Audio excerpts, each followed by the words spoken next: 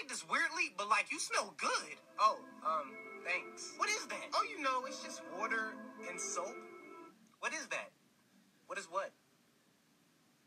You don't know what soap is? Um, hold up, let me.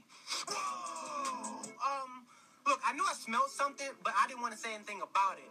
But like, can you um? Oh, I don't know. Get the hell out of my house! Not until you answer my question. You know what? That's fine with me. Cause if you won't